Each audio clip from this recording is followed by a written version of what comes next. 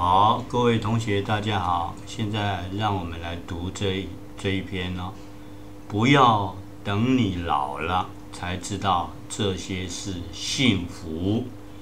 你穷，有人跟着你，这就是幸福；你病，有人照顾你，这就是幸福；你冷，有人抱着你，这就是幸福；你哭，有人安慰你，这就是幸福；你老，有人伴着你，这就是幸福；你错，有人包容你，这就是幸福；你累，有人心疼你，这就是幸福。